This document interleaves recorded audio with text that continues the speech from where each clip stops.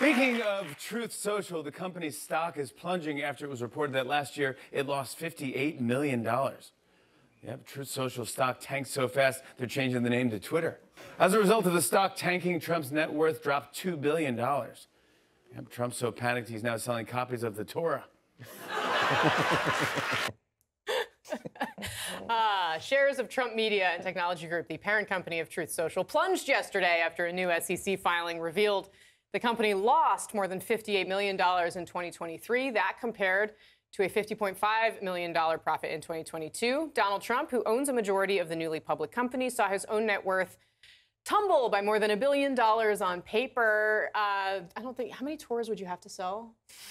A lot of to, to, to a billion Larger dollars? than the Jewish market alone. Let's just put it that way.